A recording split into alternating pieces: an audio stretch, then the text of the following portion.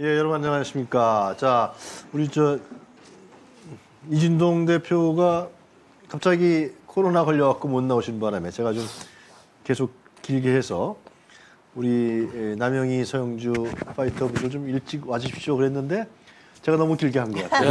밖에서 기다리시느라고. 그러게요. 일찍 왔더니. 아, 하신 말씀이 많으셨던 것 같은데. 아, 그, 두 분은 뭐 건강 이상 없으시죠? 저, 저희 좀 월요일 날 저 김종대 전 의원이 나오시 그분도 코로나 걸리고 아, 이진동 대표도 코로나 갑자기? 코로나 걸리시고. 아이고. 아, 예. 그러니까 방역을 아예 안 하니까 걸리고 이게 나와라 그거죠. 아. 진짜 그 중국에서 지금 뭐 하루에 100만 명씩 생긴다 그러는데 이 정권은 지금 내년에 1월에 마스크 실내 마스크도 해제한다 그래요? 왜 그러는 거예요? 각자 도생해라.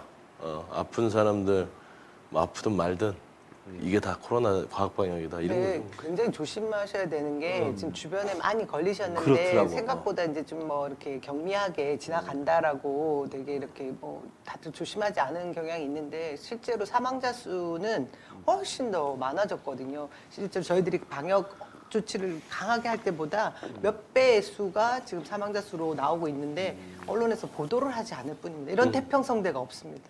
언론에서 보도 안 하면 태평성대예요. 예, 예. 그때 이 문재인 정부 때는 뭐 굉장히 난리도 안 난리. 난리 쳤지 뭐냐. 어. 특히 중국 거 왜 그 close 안 하냐고. 네. 봉쇄 안 중국 한다고 관광- 난리가 네, 났었죠. 중국 이제 관광객 계속 들어오게 생겼어요. 음. 그거 어떡할 거예요 도대체? 어? 그냥 풀어놓는 거죠 뭐. 아. 대책이 없어요. 대책 없는 게 과학이야. 각자 이제 따뜻한 거 많이 근데 진짜 걱정되는 게 이. 코로나가 제일 위험한 게 60 이상, 70 노인분들이 걸리면요. 이거는 상당히 위험하더라고요. 굉장히 아프대요. 주변에서 지금. 많이 아- 아플 뿐만 아니라 굉장히. 쓰러지셔가지고 돌아가신 분들도 꽤 많고. 그러니까 젊은 사람들이 지나간다고 하지만 음. 결국에 이제 방역이라는 게 그런 취약계층, 어떤 기저질환. 이런 분들을 위해서 존재하는 게 방역이지요. 근데 이 정부는 무슨 생각하는지 모르겠어요. 전임 정부는 제가 알기로는 청와대에서 거의 매일 회의했어요. 그럼요. 매일 문제로. 했죠. 매일 했어. 매일. 매일매일. 대통령 주재 대통령도 한가다 주재하고 매일 했다고 관련 수석. 저희가 지겨울 만큼 매일매일 보도됐습니다. 그 숫자와 음. 그죠 그때 방역 상황들 뭐그 통제하는 거에 대한 비판 여론 아. 계속 그 언론 보도가 저희들을 정말 사실은 과잉이 더 좋은 예방이다라는 걸 가지고 모토 삼아서 열심히 K 방역을 전 세계에 알린 거 아닙니까? 근데 지금 그 공든 탑들이 거의 무너- 무너지고 있는데 정말 많이 걸리셨잖아요. 근데 지금 뭐, 뭐 코로나 걸려서 또 뭐 잘 넘어가면 상관이 없는데 사망자 숫자가 늘어난다고 하니까 굉장히 위험한 거죠. 질병관리청장이 윤석열 대통령의 연, 연대 친구? 부인?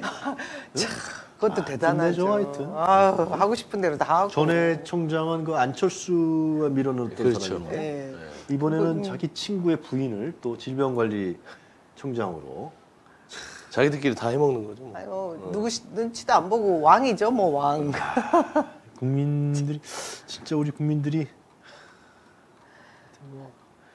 뭐잘 여기 들어오신 들어오신 분들은 다 알고 계시겠습니다만은 진짜 아 모르시는 분들이 더 알게 되겠죠. 언론이 문제예요. 언론이 문제죠. 그렇죠. 어, 어제도 북한 무인기가 다섯 대가 그거 와서 뭐야 도대체? 서울 항공 이, 이 영공을 돌아다니고 어. 한 대도 격추가 안 된 상태에서 돌아갔는데 언론 보도 안 하잖아요. 어마어마한 일입니다 이거. 이거 진짜 뭐이 국방부 장관 그만둬야 될 일. 아 그게 아니라 이 나라가요. 네. 언론이 왜이 얘기를 하냐면 이쯤 되면 계속 속보를 써야 돼요. 당연하죠. 그리고 질타를 해야 됩니다. 왜 방공포로 한 대도 격추 못 시켰는지. 음. 거기는 사람 없는 무인기인데 음. 우리는 F-15에 아파치까지 다 띄웠는데 한 대도 못 잡았어요. 심지어 우리 머리 위에 있었어요. 그럼 이게 그냥 무인기지만 이거 미사일로 만약에 서울을 타격한다거나 폭탄을 투여하는데 당하는 거야? 아이고 이, 이러게 너무 안일하게 있는데 언론은 오늘 아침에 아무 얘기도 안 해요. 특히 이제 보수 정편이 특히 안보 문제에 민감하잖아요. 이해 안 해요? 안 해요. 저는 오늘 아침에 저 MBC, 깜짝 놀랐어요. MBC 보고 알았는데. 그러니까요. 저 어제. 아는 기자분이 그 얘기를 하더라고요. 일곱 시간 동안 이 중차에 대한 사건을 엠바고로 걸어가지고 말을 못하게 했다. 그 얘기를 하더라고요. 이게 말이 됩니까? 그러면 만일에 진짜 말씀하신 대로 무인 정찰기, 뭐 조그만 거, 뭐 드론 형태의 뭐좀 허술해 보이는 그런 뭐 것이라고 하더라도 거기에 만에 하나 조그만 폭탄이라도 걸어 뭐 이렇게 장착해뒀다가 투하했다면 어떻게 됐겠습니까? 근데 이런 것에 대한 그 설명을 하는 정부 측 인사들도 나와서 너무나 우습 대수롭지 않게 뭐 대수롭지 않게 이런 설명들을 해요. 근데 뭐 NSC 열릴 필요도 없고 뭐 정부에서 굳이 이런 정도로 뭐 위기 대응을 할 필요가 없는 사안이다라고까지 얘기를 NSC 하죠. 회의도 안 열었다고. 안 열었죠. 그 개하고 놀고 있었어요. 그지? 그때 개판이었어요. 본인 그 안견계? 어, 입양견을 데려와서 거기하고 놀고 있더라고요. 참 한심하죠.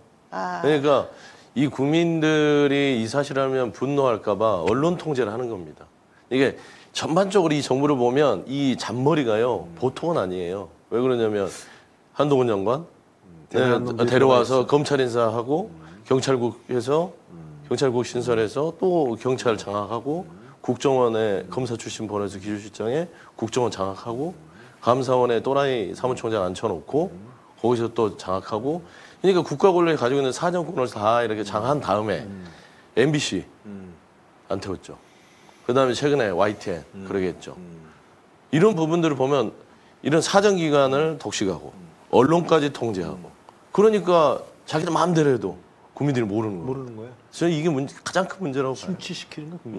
순정시키고 그렇죠. 순치화시키고. 실제로 제가 어제 이제 뭐 송년 행사에 어, 갔었는데 예, 예, 예. 그 지인들이 모인 자리였거든요. 유튜브 자기는 유튜브를 보지 않고 이제 저희들이 말하는 공식화돼 있는 음, 지- 언론 매체만 본다, legacy legacy, 미디어. 만 본다라고 말씀하시는 분들이 천공이니 뭐 이런 내용들에 대해서 받아들일 생각이 없어요. 그죠?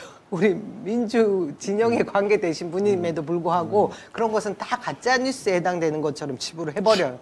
그러니까 그런 지경이니 일반 그냥, 그냥 생업에 종사하시는 국민들은 어떻겠습니까?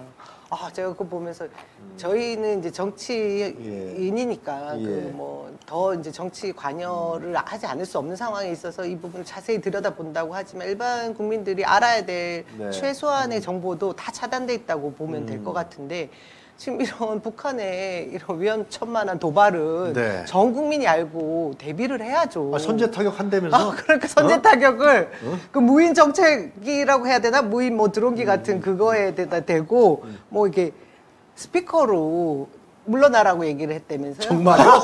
제가 그 얘기 듣고 정말이에요, 이런 그거? 코미디도 없다. 몇 시간 동안 계속 뭐 물러가라 물러가라 이걸 뭐라고 얘기하는데 작전명으로 뭐 얘기를 네. 하던데요. 그런 얘기를 하더라고요. 쏘기 전에 아, 정말이에요? 경고음을 날렸다고 하더라고요. 계속 음성으로. 그래서 아, 아니 진짜 국민들이 댓글이 더 재밌잖아요. 정말 이런 코미디가 있을 수 있냐. 국가 시스템이 완전히 파괴되어 예. 있는 것 같아. 그러니까 그거죠. 국가 시스템 중에 가장 중요한 게 이 남북 대치 상황에서는 안보예요. 예. 이 안보 공백은 이건 웃을 일이 아닙니다. 그러니까 뭐 국내 정치에 있어서는 어- 어떻게 엉망진창으로 음. 하더라도 어떻게 민주당이나 우리 국민들 끌고 나가요. 안보 문제는 이거는 생명. 이 한반도에 이 전쟁이 온- 오는 문제이기 때문에요. 이 저는 이 제정신으로 지금 국정을 보는지 특히 안보 허세만 아, 그 부려. 시간에 윤석열은 뭐 하고 있었답니까? 그러니까 그건 안 밝히잖아요. 아, 입양계? 이제 보도를 보니까 한국 경제 보도 어제 정치면을 보니까 그 본인 용산으로 입양계를 이 회의실에다 놔두면서 흐뭇하게 바라보는 사진 하나 있더라고요. 이게 NSC도 안에 국민들은 대공 위에서 저 북한 무인기가 왔는데 국민들은 아무도 몰라 엠바고를 일곱 시간 걸어놓고요. 그래놓고 민간인들이 피해를 입을까봐 무인기를 격추시키지 못했다? 이게 뭐 말입니까? 뭡니까? 정말 심각합니다, 심각. 진짜 심각하네. 언론은 보도도 안 하고 말이야. 그렇죠. 아, 그 심각한 실세 권력에 대해서 한번 좀 알아보겠습니다. 김건희 특검 추진 원래 특검 발의했죠 이미. 네, 했죠. 특검법 발의했어요. 예. 근데 특검법 추진하겠다라고 이제 강하게 나오는 것 같아요. 그렇죠. 좀 늦은 감이 없지 않아 있습니다만은. 네. 어, 그런 면도 있죠. 네. 많이 늦었죠. 장준 부장님이 좀 특검 좀 하라고 계속해서 얘기했어. 하여튼간 아. 박홍근 원내대표 하겠다는데 진짜 하는 거예요? 어, 저희는 밀어붙이고 네. 이미 뭐 당론으로 기본적으로 이제 좀 공감이 있었던 것 같습니다. 네. 그렇기 때문에 이제 원내대표께서 얘기를 하셨는데 국정조사하고 똑같은 거예요. 당시 이태원 국정조사에 대해서 얘기를 하고 나서 추진을 했고 특검도 이쯤 되면 안 할 수가 없는 부분입니다. 왜냐하면 이 윤석열 정부의 선택적 기소 그러니까 내 편은 살려주고 상대는 죽인다 이런 어처구니 없는 말로만 공정과 상식 네. 이런 부분들은 김건희 여사의 특검을 발휘해서 그 사람을 검찰이 안 부르니까 특별 검사가 불러서 조사하게 해야 돼요. 네. 너무 명백하잖아요. 네. 저는 제일 그좀 어처구니가 지금도 없는 게 대국민 앞에서 당시에 허위 경력에 대해서 자기가 인정을 했잖아요. 제가 잘못했습니다. 돋보이고 싶은 욕망에 하겠다. 또 약속한 게 있어요. 저는 이런 허물에 있으니 내좀 하나. 안 내조만 하겠다. 내조만 하겠다. 내조는 무슨. 내조 지금. 대통령 대통령보다 더 많이 돌아다니고 어, 권력의 이 중심에 있는데 이런 분이 있기 때문에 나라가 혼란스러울 수밖에 없다. 그러니까 본인이 이 윤석열 대통령이 공정과 상식을 얘기할 때는 자기 가족들한테도 어마, 엄격하게 해야만 본인의 말을 지키는 건데 김건희 여사 허위 경력도 그렇죠. 도이치모터 주가 조작 얘기하면요 나를 셉니다. 아니 공판 검사가 오죽했으면 빼도 박도 못하니까 여기 통정거래 했습니다라고 얘기했는데 검사는 김건희 여사 소환도 소환 안. 하잖아요. 압수수색 한 번이라도 했나요? 아니 서면 조사라도 했나요? 이게 말, 제 어처구니 말도 안 나오는데.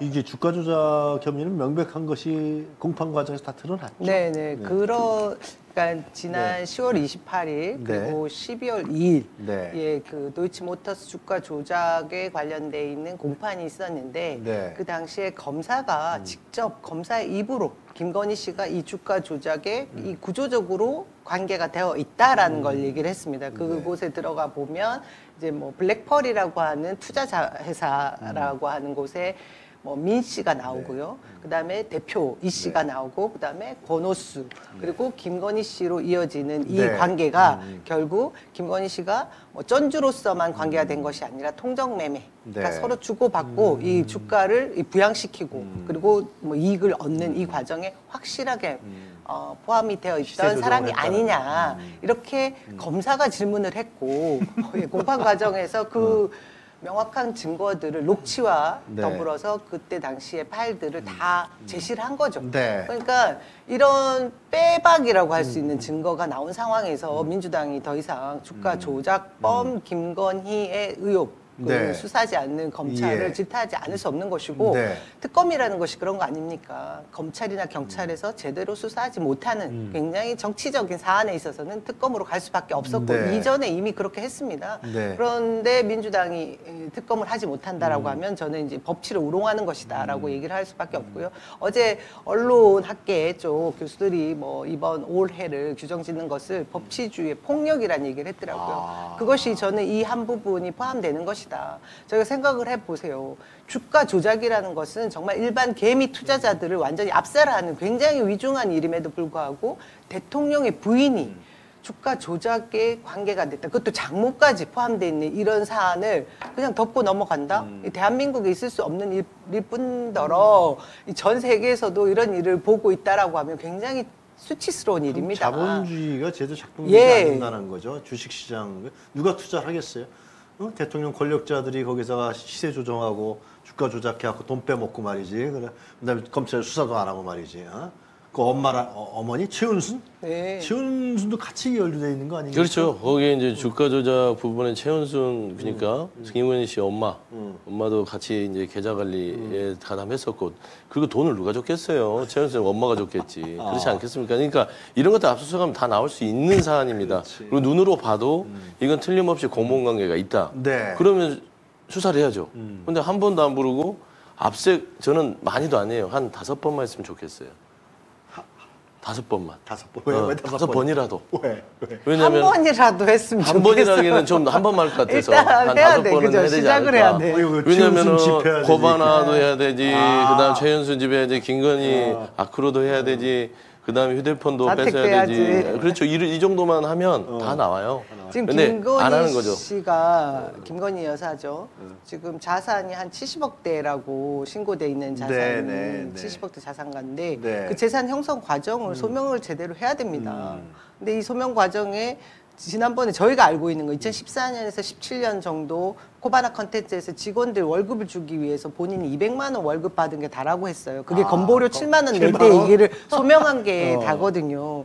그러면 이 사람이 저희가 아는 그 허위 경력 뭐 논란에서 보면 대학에서 아주 뭐 시간 강사 잠깐 했던 경력이 다고 그리고 뭐 부모에게 뭐 물려받은 재산이 있다라고 하면 그 부분도 소명을 해야 되는 부분이 있는데 이 내용 안에 이 주가 조작으로 일어나 시세 차익을 얻은 부분이 재산으로 형성된 과정이 있지 않느냐. 그 현금이 대부분인 재산이거든요. 이런 부분을 소명을 해야 된다라는 질문을 할 수밖에 없는 겁니다. 네. 그리고 이미 나와 있는 그 차고도 넘치는 그 녹취록과 그 주가 단계 그 파일이라는 게 있다는 거 아닙니까? 김건희 엑셀 엑셀 파일, 엑셀 파일이 있는데 그것을 1년 전에 민 씨라는 사람이 외국으로 도피하기 전에는 본인이 작성한 것으로 이야기를 했다가 지금 1년 만에 다시 이 수사를 재판을 받기 위해서 귀국한 네. 이유는 지금 하는 말이 애매하게 뭐 잘 모르겠다 아니면 뭐 의심이 된다 뭐 의혹이 있을 수는 있다라는 식으로 빠져나가려고는 하는데 빠져나갈 수 없는 상황이라는 게 지금 재판 과정에 나온 이후의 보도거든요. 그 범죄 일람표에 나와 있는 거예요 검사들. 그 엑셀 파일이 그 주가 조작범들이 김건희를 관리했다라는 명확한 그렇지. 증거라는 거예요. 그리고 제일 중요한 거는 그냥 다른 거 필요 없습니다. 예. 전화 한 통해서 8만 3천 주. 8만 주 아, 3,300원에 매도한 거? 어, 그렇죠. 한 번에 매도한 게 이건 통정 거래거든요. 시세를 영향을 주기 위해서 원래 보통 우리가 거래할 때 쪼개서 하지 않습니까? 네. 몇, 몇천 주는 얼마 하고 네. 얼마 하는데 같은 가격에 한 번에 네. 이거 누가 봐도 저 주식을 안 하는 사람 통정 거래인데 네. 검찰이 그걸 모를까요? 그것도 한두 푼입니까? 그리고 이 과정에서 이제 진짜 쟁점이 되는 것은 주가 조작과 관련돼 있는 실체를 밝혀내는 것도 중요하고 거기에 가담되어 있는 것에 대한 책임을 물어야 되는데 또 한 가지는 윤석열 대통령 후보 당시에 공직자 선거법 위반입니다. 허위 사실 유포가 되는 아, 부분이거든요. 1차만 했었고 2차는 발을 뺐다 예, 그랬지. 그 부분에 대해서 뭐 절연을 했다. 뭐 골드만삭스의 아주 아. 유능한 사람에게 일매매를 했다가 이후에는 시세 뭐 이런 제대로 실력을 발휘하지 못해서 절연했다라고 얘기하는 그 순간에도 이미 2차 주가 조작에 가담돼 있던 증거들이 나온 것이거든요. 이것은 명백한 허위 사실이 될 수 있다라는 보도가 나왔습니다. 그렇기 때문에 이 공직자 선거법 위반 우리 공, 그 허위 사실 유포가 됐을 경우 지금 대통령 임기 중이니까 뭐 형사소추 뭐 이런 식으로 관계되지는 못하고 수사도 중단된다고는 하지만 이후에는 당선 무효까지 이어질 수 있습니다.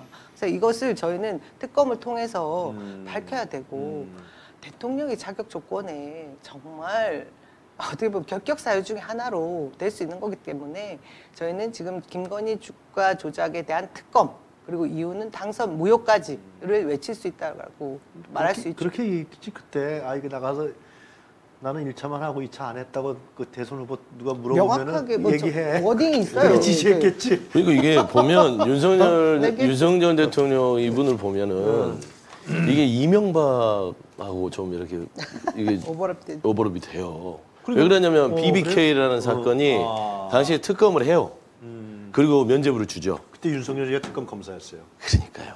그리고 나서 정권이 새롭게 와서 검찰이 제대로 수사를 BBK를 하니까 드러나잖아요. 수백억을 횡령하고 삼성에게 수십억을 변호사비 예, 대납하는 예, 게 예, 이게 드러납니다. 저는 지금 얘기한 대로 도이치모터 주가 조작에 대해서 윤석열 대통령이 후보 예. 당시에 얘기했던 거는요. 이거는 엄청난 일입니다. 맞아요. 근데 이재명 대표는 기억이 안 난다고 사법 처리를 하면서 자기는 거짓말을 한 거잖아요. 따지고 보면 어, 밝혀지면. 어. 그러면 이거는요.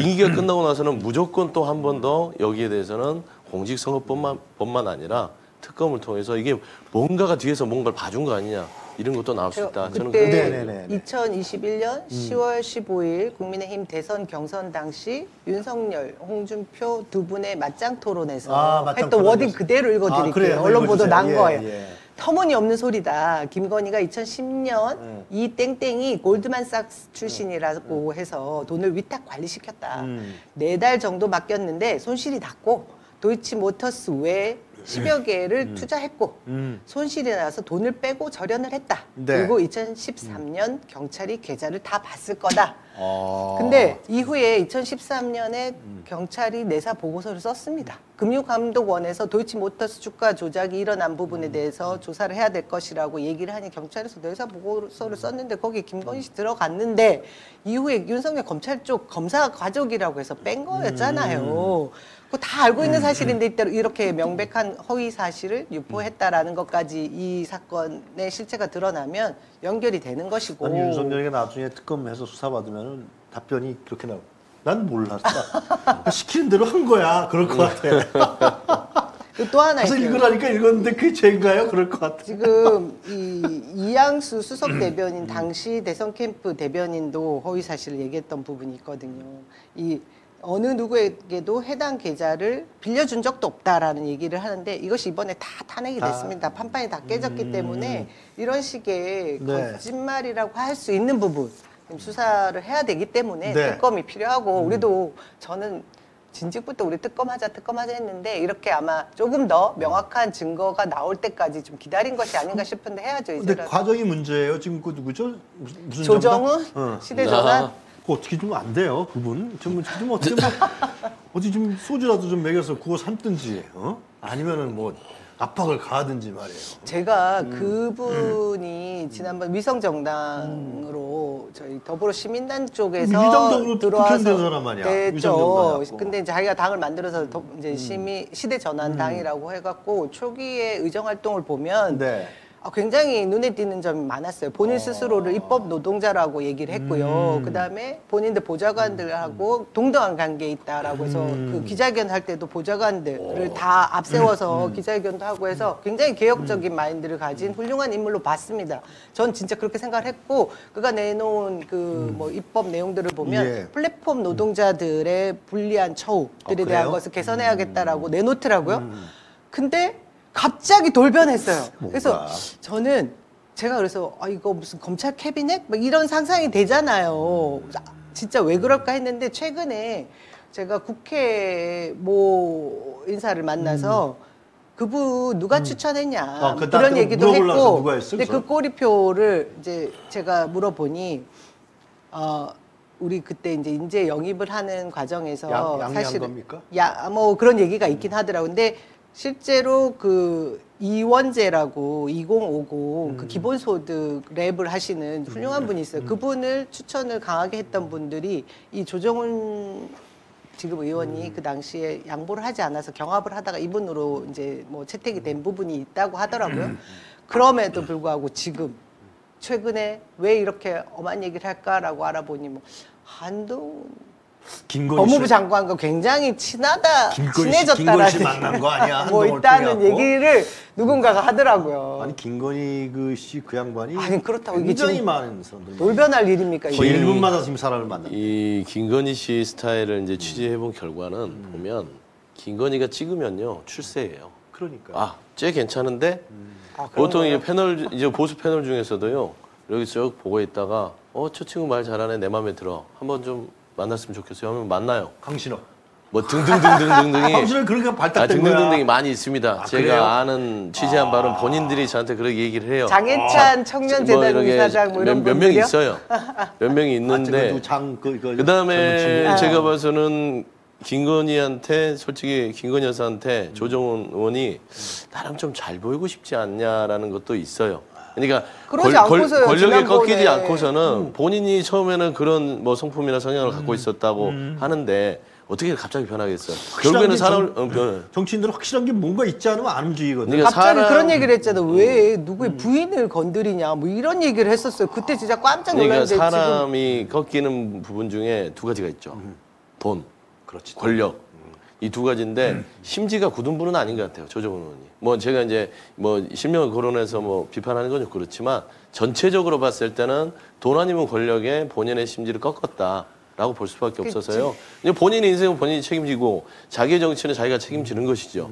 제가 봐서는 썩 좋아 보지는 않습니다. 왜냐하면 이 진보 쪽에서 자- 활동하면서 이제 좀 개혁적인 부분들을 조금 더 보여주기 위해서 노력했는데 이제는 아 돈과 권력이 좋아 보이니까 이쪽으로 변질된 거죠. 그쪽으로 붙어버렸으면은 시대전에 조정훈이가 움직이지 않으면 특검법은 밀어붙일 아니 수 그렇지 않다고 하더라고요. 그러니까 있습니까? 법사위에 이제 한 어. 명의 어. 그 이- 의원이기 때문에 지금 그 조정훈 의원이 거부를 하게 되면 네. 음. 그 과반의 숫자에 이제 못 미치기 때문에 문제가 될 수 있다. 3분의 2 아닙니까? 3분의 2. 그러니까 그게 아, 저희가 일곱 명하고 음. 다섯 명이 되기 때문에 뭐 부족 한 명이 부족해서 안 된다라는 얘기를 하는데 그렇지 않고 진짜 보- 의지만 있으면 음. 본회의에 올려서 fast track 식으로 해서 통과시킬 수 있는 방법이 분명히 있다라고 음. 얘기를 하더라고요. 그래서 저는 또 설득도 해야 된다고 보고요. 지난번에 음. 이 문제에 대해서 조정훈 의원이 했던 발언과 달리 이 정도로 명확한 증거가 공판 과정에 나왔는데 아직도 지금 법을 만든다고 얘기했고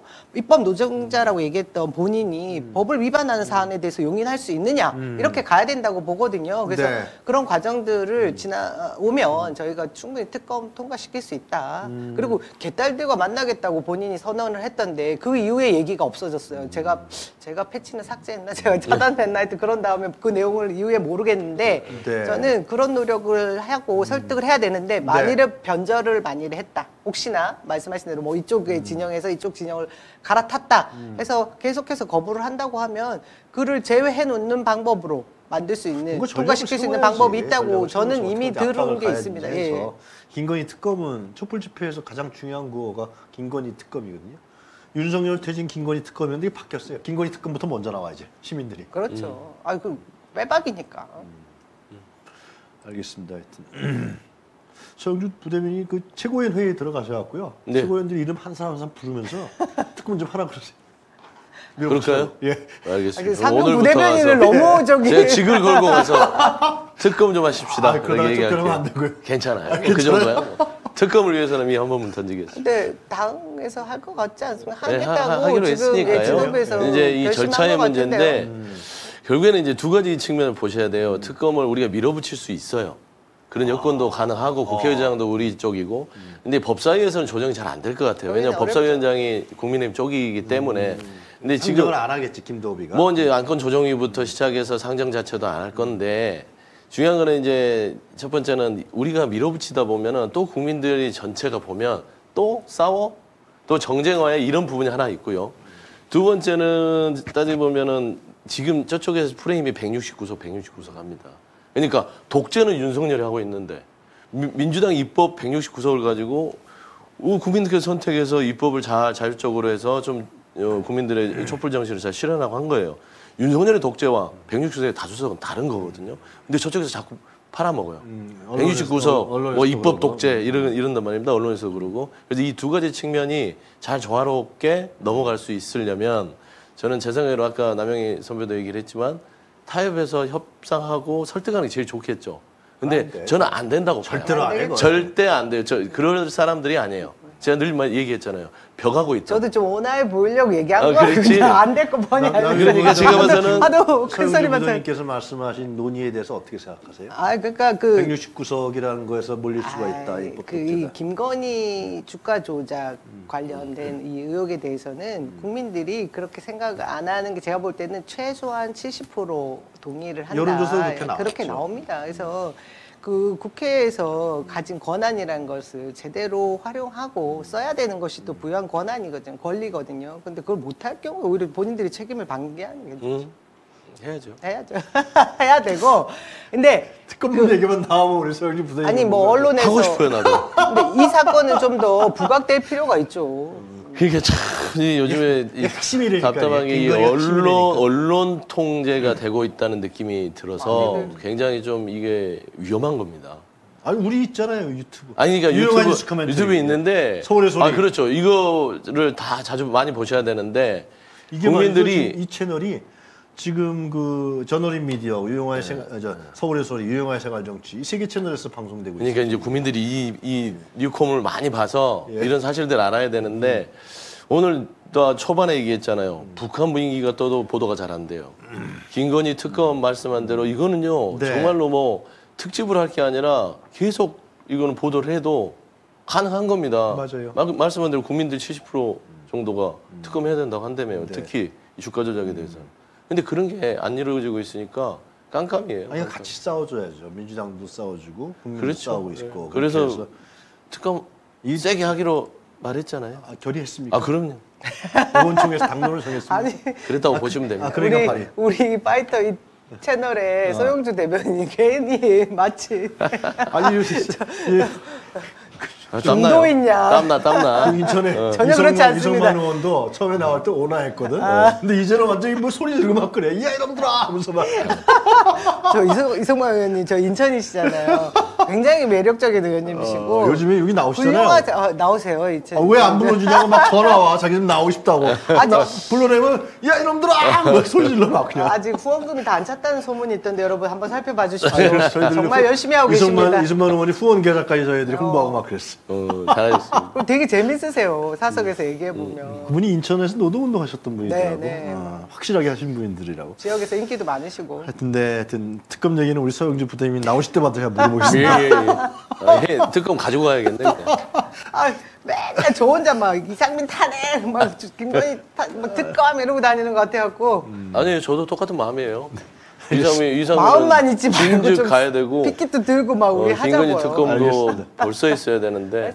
자 이재명 당 대표가 이제 출석해요. 원래는 내일인데 내일은 본회의가 있고 그러니까 갑자기 날짜를 조정해서 출석하는 겁니까? 이제 그러니까 이제 기존 입장을 겁니까? 늘리기 위해 왔어요. 그러니까 저쪽에서는 말도 안 되는 소리로 뭐 떳떳하면 조사받아라. 지들은 뭐 떳떳해서 조사를 안 받았었나요? 그것도 아니잖아요. 그러니까 그런 정치적인 저- 쟁정, 정쟁을 위해서 그런 네.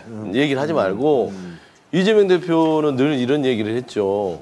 일정 조율을 하는데 일방적이다. 이거는 또 응할 수 없다. 네. 라는 것인데 때가 되면 나가서 이야기하겠다. 그러니까 뭐 숨을 게 없다 떳떳하니까 그, 그 입장입니다. 그래서 어저께 어 28일 그러니까 그 광주 일정이 있어요 최고위원 현장 경청 투어가 있는데 그 일정이 있음에도 불구하고 검찰에서 일방적 28일 나와 이러게 된 거예요. 아, 이건 너무 예의가 아니죠. 하여튼 그래서 어떻게 그래서 보, 그렇게 돼서 채- 일정 때문에 안 된다라고 밝혔더니 언론이 또 뭐라고 쓰냐면 안 나간다. 뭐 이렇게 버틴다 이런 식으로 또 쓰는 거야. 기다리고 있었어. 그러니까 이재명 대표께서 아마 판단하신 것 같아요. 아 이건 아닌 것 같다. 내가 좀더 확실하게 밝혀야겠다. 그래서 당당하게 때가 되면 나가서 조사를 받겠다. 음. 라는 거기 때문에 일정 조율을 검찰하고 다시 해서 음. 적당 때에서 당당하게 받지 내가 뭐 숨길 것도 없고 음. 떳떳하다 이 얘기를 한 번 더 강조했기 때문에 뭐 적당한 때 나가셔서 그 내년 조사를 받고 오시겠죠. 설 연휴 전에 신년 기자회견 한다 그러는데 음. 그때는 뭐 어떤 선언 같은 걸 하는 거야? 윤석열 나쁜 놈아 뭐 그것만 얘기하는 건가? 어떤 걸 얘기하는 건가 도대체? 그때는 뭔가 좀, 좀 요즘에 그 그 좀 달라진 것 같아요. 그러니까. 보면은 지금 윤석열이 정권에서의 검찰, 정치 검찰이 분명하죠. 어, 그런 부분에 대해서 다시 규정을 해야 될 부분이 있고 예. 보면 대장동 가지고 지금 뭐 최근에 제가 한 서너 달 전에 대선 자금 얘기가 나왔잖아요. 그리고 지금 막 유동규 남욱 나와서 그 온갖 현란한 막 언론 플레이를 하고 소설을 써대는 거를 또 언론이 퍼나르고 그래서 대선 자금이 마치 이재명 대표가 받은 것처럼 됐는데 이번에 또 부른 건 성남 FC야. 그것도 광고비 받았다고.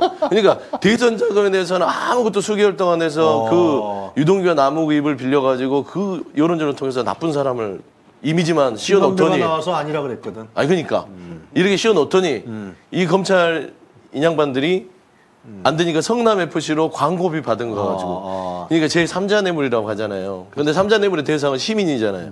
시민한테 잘 보였다고 기소를 하는 이런 나라가 어디 있습니까? 정, 정치적 이득을 받대. 정치 그러니까 기득을 다 지금- 그러면 정치인들은 다 기소돼야 돼. 그렇지. 그럼 지역에 가서 악수하고 제가 이거 시장에 몇백억 갖고 왔습니다. 아. 이거 도로 났습니다. 이거 저기 지하철 엘리베이터 났습니다. 그 돈 갖고 생생뇌물 그 저- 삼자 뇌물이죠 다. 실세들 누구지? 정진 저저 저, 저 실세들 다 이번에 자기 그 지역구에 뭐 몇십억씩 갖다 꽂았더만. 다 그거 다다 삼자 삼자 뇌물이야. 뇌물이네. 정치적 정치적 이득을 이득이니까. 그래서 제 생각에 기, 저 정치인들이랑 기초단체장들 다 기소시켜 버려요. 그 홍준표 대표가 아, 홍준표 시장이 그 얘기했잖아요. 자기가 받은 돈은 투명한 돈이라고. 그래서 돈에 다 색깔이 있어요 지금 아, 정부는. 근데 그 음. 이렇게 대선이 끝나고 본인의 상대 후보였던 사람을 대선이 끝나자마자부터 지금까지 음. 계속 탈탈 털고 아까 압수수색 얘기하셨지만 압수수색 공화국이 된 이런 상황을 이들은 어떻게 표현하고 있냐면 검찰에서 하다 하다 안 되니까 지금 뭐몇 달째고 벌써 그 수사 시작한 것은 벌써 1년이 더 넘었고요. 정치적 공동체와 정치적 이득 딱 그 단어만 쓰고 있어요. 그거 뭡니까? 명확한 증거가 없다는 얘기예요. 좀 전에 우리 김건희 주가 조작 관련한 이야기 했잖아요. 통정거래, 전주 그리고 뭐 시세 조종, 뭐 통화 내역 다 나와 있는 이런 사건은 정말 들여다 보지도 않고 한번 손대지도 않고 김건희 씨를 소환 한번 하지 않고 아, 서면 조사 한번 하지 않은 이런 상황에서 이재명 당 대표에게만 그 이런 일을 하고 있는 거잖아요. 100, 150명이 투입됐다면서요, 검사가. 예, 예. 그래서 어, 지금 16명을 공개했죠. 이름 공개요. 그 잘한 거예요? 못한 거예요? 한동훈은 뭐 난리가 났던데 좌표 찍기라고 막 그러던데. 뭐 좌표 찍기예요. 뭐 당연히 언론이 안 하니까 음. 당해서 한 거죠. 보통 이제 언론들이요 이런 수사 봐보십시오. 야당의 대표를 이렇게 집중적으로 타켓을 해서 표적 수사를 하는 걸 보면 보통 언론이라면 어떤 사람들이 이렇게 하나 하면서 분석을 해요. 윤석열 사단이잖아요. 그러면 왜 윤석열 사단으로 채웠을까? 야당 대표에 대한 수사가 왜 우연치 않게 갔을까? 막 덧셈을 이런 분석 기사들을 쓰는 거예요. 언론이 안 쓰잖아요. 안 쓰니까 당해서라도 얘기해야죠. 자, 잘 보세요, 언론들. 이런 이런 상황입니다. 윤석열 사단이 왜 생겼어요? 한동훈이 검찰총장 임명 안 하고 미루다가 본인이 검찰 인사를 두 번 개입하잖아요. 다 그 작품들이에요. 아니 우리 검사도 이제는 자기네들이 기소했다가 무죄 나오는 거그 책임져야 될 거 아니야 검사들도 검사 이미 기소 그런 실명제 가야 법이. 있습니다. 아? 검사를 탄핵할 수 있는 법이 있어요. 그러니까 지금 저희가 저렇게 명단 발표를 한 이유도 지금 저- 제가 좀 전에 말씀드렸잖아요. 몇 달을 탈탈 떨어서 내놓은 증거라는 게 정치적 공동체와 정치적 이득이라는 이 두 단어밖에 없다. 그러면 니들이 책임져야 될 거 아니냐. 그렇지. 계속 불러서 소환하고 어. 뭐 조사하겠다 이런 얘기를 할 것이 아니라 언론에다 대고 주장만 할 것이 아니라 니네도 일정 부분 책임을 져야지라고 해서 명단 공개를 한 거죠. 근데 그걸 어디 엉뚱한 데서 긁어온 게 아니라 이미 언론 보도에서 이 사건에는 누가 담당 검사라는 것이 다 나와 있는 것을 모아놓은 것 뿐입니다. 근데 이걸 가지고 웬 좌표 찍기 무슨 좌표는 지네들이 지금 찍고 있으면서 좌표 말이야. 찍고 뭐 조리 돌림? 되게 웃기더라고요. 조리 돌림은 저 같은 사람이 당한 게 조리 돌림이에요. 페이스북에 30분 올려놓은 글 가지고 모든 언론에서 제가 무슨 나라의 녹을 먹고 있습니까? 뭐 합니까? 이런 사람은 정말 실명으로 남영이 정말 정치 병자라고 막 온갖 얘기를 다 했으면서 이런 것이 조리 돌림이죠. 지금 공무 수행을 하고 있는 그리고 본인들 주장에 의하면 한동훈 법무부 장관의 주장에 의하면 저 검사들이 헌법기관이랍니다. 처음 듣는 얘기인데요. 헌법기관이라고 얘기한 사람들의 실명과 얼굴을 드러내는 게 무엇가 잘못됐다는 얘기입니까? 그리고 아니 되게 창피한가 보죠. 좋은 일 했을 때, 상 받는 일 했을 때 뭐 이런 식으로 얘기할 때는 검사 얼굴과 이름이 나오는 거에 대해서는 한마디도 하지 않았던 그들이 갑자기 이 수사가 떳떳하고 아무렇지 않았으면 이것에 대해서 발끈할 이유가 없는 거죠. 아, 난그 60명 다 공개했으면 좋겠어. 근데 언론에서 그거에 대해 무비판적으로. 또 쓰고 있어요. 아 그래서 그 저 저 그저그 그 친구 친구들도 알고 말이야. 어? 그 자식이 있으면 자식 친구들도 알고 그래서 지금 음, 네 아버지가 이런 수사를 하고 있어. 알게 좀 만들었으면 좋겠어 정말. 근데 알려줬어요. 우리가 우리끼리만 맨날 웹자보 만들고 당원들끼리만 공유를 하는 게 너무 많잖아요. 지금 어, 더불어민주당 홍보국에서도 매일 최고위원들 그 워딩 따가지고 오늘의 한마디 대표 거 뭐 최고위원들 말 중요한 거 다 돌리는데 당 내에서만 공유가 되고 어떤 기자도 한 줄 기사를 쓰지 않거든요. 근데 이것도 그 일환이었거든요. 검찰 독재 탄압위원회에서 아. 계속 우리 내부에서 공유하고 뭐 아. 외부에 퍼뜨리라고 했는데 잘 안 퍼져 나갔지 안 않습니까? 교수님도 잘 못 보셨죠? 네. 근데 이번에 이거를 뭐 좌표 찍기다 얘기해주는 덕분에 어. 많이 알려진 것 같아요. 그 60명 다 공개해서 그 사람들 진짜 역사적 책임과 공공성에 대한 책임을 지게 해야 돼. 검사들도 지네들 말이야 씨, 뭐 이렇게 기소하고 공소유지 한 다음에 무죄 나와도 그냥 싹 아무 일도 없는 것처럼. 그렇죠.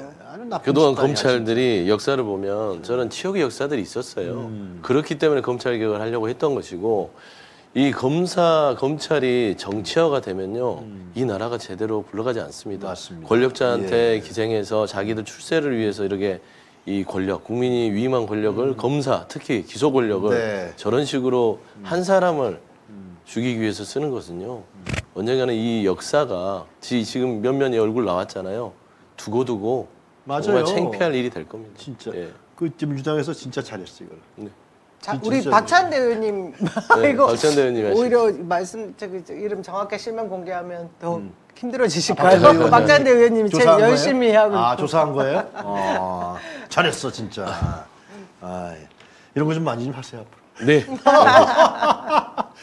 그 이상한 판사들 말이야. 공개하고. 사법부가 진짜 완전히 좀 기득권화 카르텔가 돼갖고. 자, 세 번째. 이분들 농성 그만두셨나요? 민주노총 분들이 노람 아직 계신가요? 음, 해산은 된 걸로 알고 있고요. 두 분은 이제 조금 그 사법 처벌을 받으셨고, 왜? 어, 이제 무단 진입을 했으니까요. 근데 이제 그럼 민주당에서 사업 처리하지 말라고 얘기해. 얘기는 했죠. 어, 얘기는 했는데 이제 저는 이제 그- 그런 생각이 들더라고. 갑자기 왜 화물연대 이 민노총 분들이 왜 민주당을 쳐들어왔지? 이분들이 하물연대인가요? 그렇게 알고 있습니다. 화물연대 아니고 화물연대 아니에요? 아, 노란봉투법 대우조선, 했던 아, 대우조선하고 그거, 이런 노동법 쪽인데. 2, 3조 민노총 개정안에. 대한 통과를 아, 빨리 해달라는 네네네. 게 하청 노동자들의 파업권, 음. 자유결사의권을 그러니까 보장해달라는 법안이 지금 2조 사망. 발의되어 있는데 예, 네. 저는 2조 아쉬운 건 있어요. 그 그러니까 부분들이죠. 화물연대든 대우 저 조선 하청 노동자들 민노총 소속인데 지금 노란봉투법을 거부한다는 거는 국민의힘하고 윤석열 정부예요. 맞습니다. 예. 아니 근데 그거는 이- 잘 아시잖아요. 이분들 주장은 지금 환노 위원장이 민주당 소속입니까? 전해철 의원이죠. 전해철 전해철 의원. 아. 근데 환노위에서 이거를 계류시키고 있다. 왜 안 하고 있느냐 이런 거 같은데. 하여튼 뭐저 나중에 얘기는 하겠습니다만은 그래서 민주당에서 이 문제는 어떻게 했습니까? 이 전해철 위원장이 나서서 만났어야 될 문제. 저는 일단 음, 제가 알고 있는 어제 이제 잠깐 취재를 해본 네. 음. 내용을 보면 왜냐하면 이분들이 당원존을 기습 점거하셨어요. 제가 또 당원존 관리자라서 아, 아, 저 관리자. 굉장히 서운했거든요. 음. 왜 당대표 이재명 당대표를 면담을 하고자 공식적 요청을 하면 될 일입니다. 만나지. 음. 예 그리고 환노 위원장 전해철 위원장께 이미 이야기를 해봤는데 음. 좀 미적지근했다라는 얘기를 이제 내부에서 민노총 지금 온 시위를 하는 그쪽에서 듣고 불만을 가졌다라고 전에 들었어요 저는 네. 일단 근데 일단 그걸 떠나서 지금 노란 봉투법에 관련되어서 민노총에서 민주당사를 점거했다라고 언론 기사에 음. 나왔습니다. 근데 사실 아까 내부적으로 들여다보면 노동법 2조 3조에 대한 예. 개정안을 통과시켜 달라고 제가 예. 하청 노동자들의 파업 결사의 음. 자유를 인정해 달라는 거라고 말씀드렸잖아요. 그러니까 이게 두 개 맞물려 있고 몇 가지 이상의 노동법 관계되는 뭐 일몰제법들 음. 뭐 여러 가지들이 지금 이제 환노위에 계류돼 있는 상태고 음. 결국 이것이 본회의 내일 28일이거든요. 아. 이때 상정이 돼서 통과가 네. 될수 있는 안이 있고 아닌 것이 있는데 이분들이 이제 강경하게 나오는 이유는 이건 우리만 우리한테 굉장히 절박하다. 음. 전 이해해요. 그 부분은 이해를 하는데 어, 이 점거의 형태가 음. 왜 우리 그 순수한 당원존까지 점거를 하면서 이렇게 얘기를 하셨나에 대한 부분 좀 서운함이 있습니다. 왜냐하면 민노총이 원래 지난 대선 때도 그렇고 민주당을 지지하지 않고 정의당을 지지했었거든요. 그럼 정의당과 함께 이 부분에 대해서 투쟁을 할 때 지금 완전한 반대를 하고 있는 음. 국민의 힘에 항의를 해야 됩니다. 거센 항의를 해야 됩니다. 근데 지금 국민의 힘이든 현 정부든 뭐 엄청난 경찰권, 검찰권을 가지고 뭐 억압을 하고 있죠 노조들을. 근데 그렇다 해도 이 부분에 키를 잡고 있는 그들은 결국 대통령이 거부권을 행사하게 되면 한노위를 통과하고 뭐 법사위를 통과하고 이 과정들을 거쳐야 되는 부분이 있으니 지금 하루가 진짜 뭐 1분 1초가 다급한 상황이라고 하면 저는 정말 결정적인 곳에 가서 더 세게 요청을 했어야 된다고 보거든요. 근데 뭐 그래도 들어줄 만한 곳은 믿을 만한 곳은 민주당이니 여기라도 어떻게 우리가 먼저 요청을 해보자 하고 오신 것 같아요. 그래서 뭐 저는 이제 여러 가지 생각들이 지금 혼재되어 있긴 한데 어, 왜 매번 민주당은 저도 이분들이 정권 농성이라는 것은 상당히 투쟁 방식이 어, 상당히 뭐라 그럴까 일반적인 건 아니잖아요. 그럼 국민의힘을 정권 농성했어야 되는 예, 거 아니냐. 점거는 민주당은 했었어야 된다고 봐요. 모르겠어요. 이재명 당대표가 노란부터 통과시키겠다 그러고 당론으로 당론으로 애초에 결정돼 채택을 했었습니다. 그 미적미적거리는 문제를 미적미적거린다 판단한 거 아니에요? 그러면은 이 문제에 대해서는 다른 식의 압박이나 압력사를 넣어야 되는 건데 지금 농성도 하고 있고 개표 농성. 그러니까 저는- 근데 민주당하고 그러면 얘기를 좀 아니 그러니까 아까 말씀한 대로 제가 그 얘기를 했던 거예요. 할 때는 국민의힘 아니냐 그런 생각도 좀 들어 나. 아니 그러니까 어. 그러니까 이제 민주당이 거대 의석을 갖고 있다는 프레임에 국민들께서 그러니까 뭐 노총도 그러고 거대 힘을 가졌다고 해서 밀어붙일 수 있는 건 아니에요.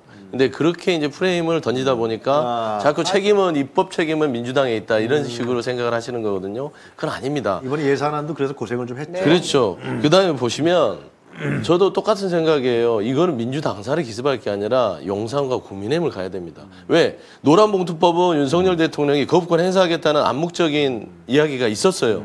그 다음에 국민의힘이 환노위 위원장이라고 해서 통과시킬 수 있는 게 아닙니다. 환노 위원장이 전해철 전해철 의원이라 해서 위원장 마음대로 법을 통과시킬 수 없어요. 밀어붙일 수 있는 거 아니야? 그러니까 못 밀어붙입니다. 왜요? 의결 정족수가 있어요. 그 의결 정족수가 있는데 민주당이 다수 다, 다수석이잖아. 다수석이어도 그러니까 이제 지금 현재 상황이 어제 같은 경우도 보면 한 분은 코로나가 걸렸고 국민의힘은 노란봉투법 올렸더니 다 빠져버렸어요. 한 명도 안 남고. 그러니까 이거 중수가 안 된 거예요.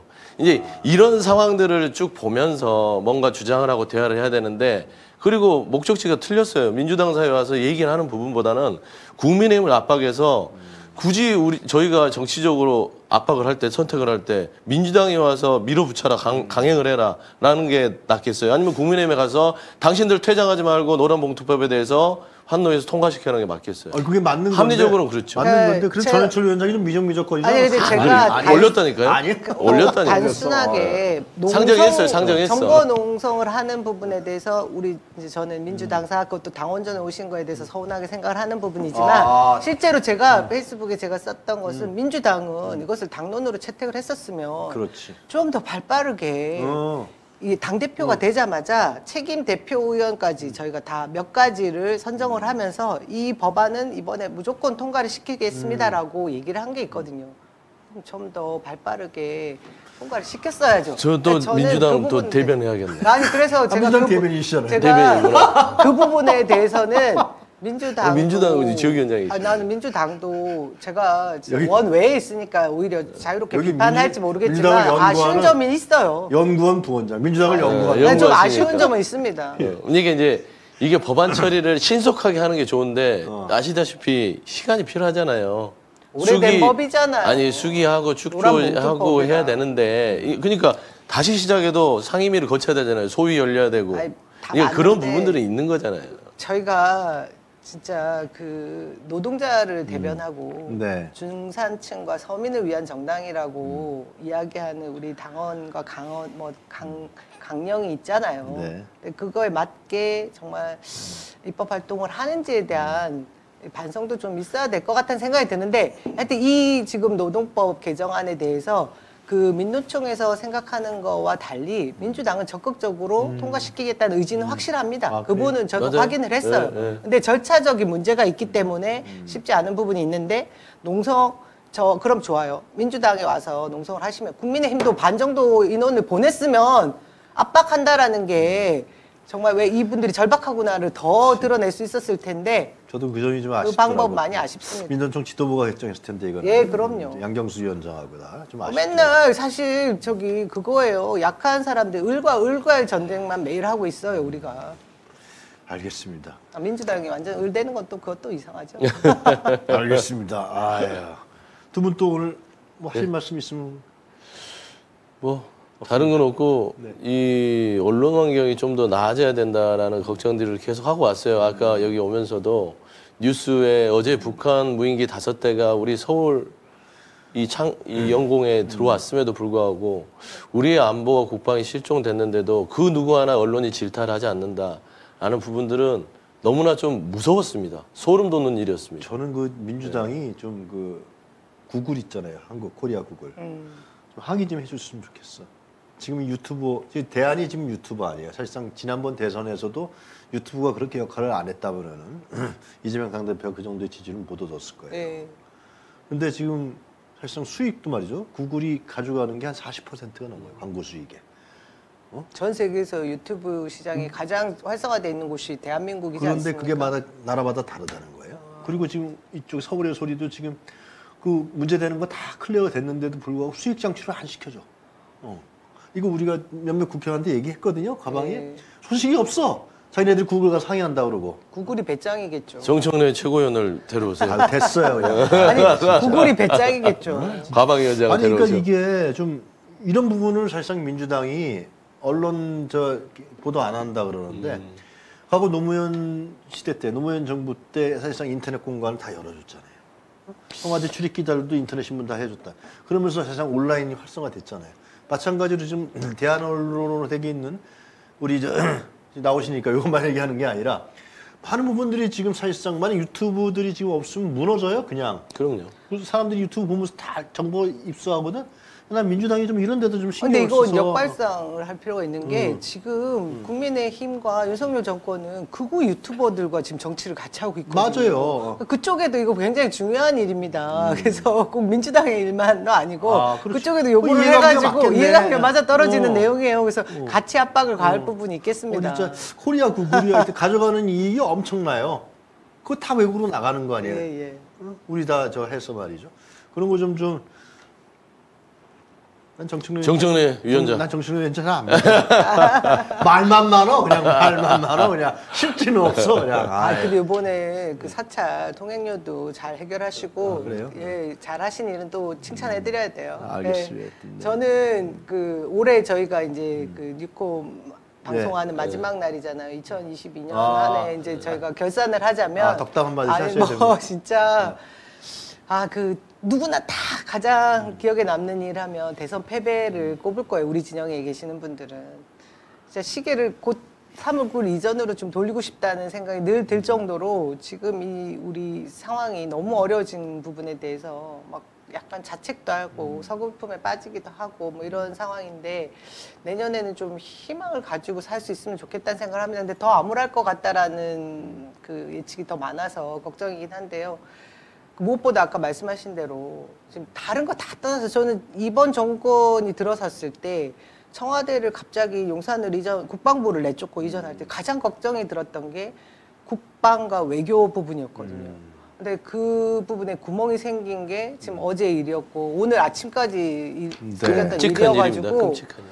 아 제발 그런 큰 위험한 어떤 뭐 네. 전쟁까지 갈 수 있는 일촉즉발의 그런 사안들은 생기지 않았으면 하는 기도부터 해야 되겠다는 말씀을 드리는데 제일 잘좀 해줬으면 좋겠어요. 부분이죠. 그럼요. 이게 이- 진영 간의 문제도 이 아니고 한반도에 전쟁이 일어나면요. 지금 정치 경제 뭐 이런 거요. 민생이요.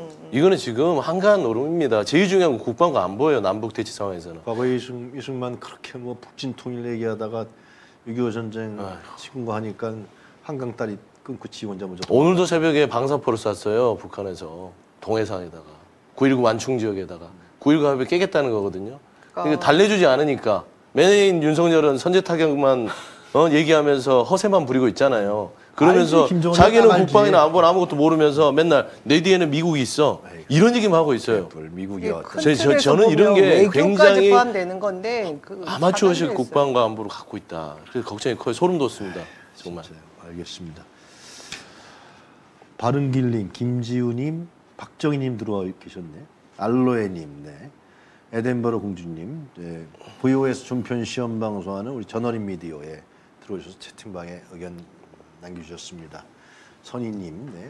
황금꽃님, 나중에 들어오신 분들, 초밤여사님, 고성희님, A씨님, 이상숙, 여우리님, 네 많은 분들이 지금 들어오세요. 오늘 저 남영희 부원장님과 서영주 부대님을 응원하기 위해서 많은 분들이 채팅방에 들어서 글 날. 오늘 어, 접속자 수 굉장히 높고요. 슈퍼맨 일치님, 단추자님, 별이 충충님, 네 많은 분들이 들어서 채팅방에 나와서 대- 감사합니다. 자 오늘 저희들 유용한 뉴스 코멘터리 이제 마감해야 될 것 같습니다. 저희들 7시 50분에 매일 이제 10분 당겨서 하는데 2시간 하는데도 이렇게 끝까지 이렇게 지켜주셔서 감사드리고요. 어, 어떻게 보셨습니까? 내일도 어김없이 저희들 7시 50분 수요일이죠. 내일 수요일 상을 드립니다 시간입니다. 여러분들 채팅방에 올려주셔서 상을 누구한테 주실지 결정해 주시는 날입니다. 그리고 장현주 변호사의 요즘에 아주 인기가 높습니다. 장현주 변호사의 정법 시대. 그리고 내일은 그 심리학 박사시죠. 김태영 소장께서 출연하셔갖고 또 무슨 심리를 또 얘기하시. 전번에는 윤석열과 김건희에 대해서 이제 심리 분석을 해주셨는데, 자 내일은 어, 어떤 분을 소개해 주실지 궁금합니다. 자 우리 두 분 말이죠. 저희들이 closing 할 때 오늘 이거 처음 전에 보셨나요? 뭐 이거 뭐예요? 어, 뭐 어떻게. 그런 생각할 때 그런 거예요? 우리가 저 김건희 다큐를 제작하고 있습니다. 그 예고편 그리고 이제 funding을 하고 있거든요. 네네네. 어, crowd funding을 하고 있는데 네. 그거 보면서 우리 예, 여러분들에게 인사드리도록 하겠습니다. 여러분 감사합니다. 안녕히 계십시오.